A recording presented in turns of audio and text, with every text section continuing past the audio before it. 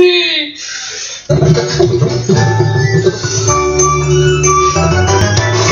shall we do today? We'll make something fun.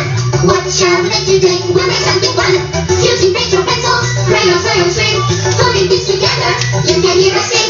What shall we make today? We'll make something fun. What shall we make today? We'll make something fun. It's time that we know something. Working till we're done. What shall we make today?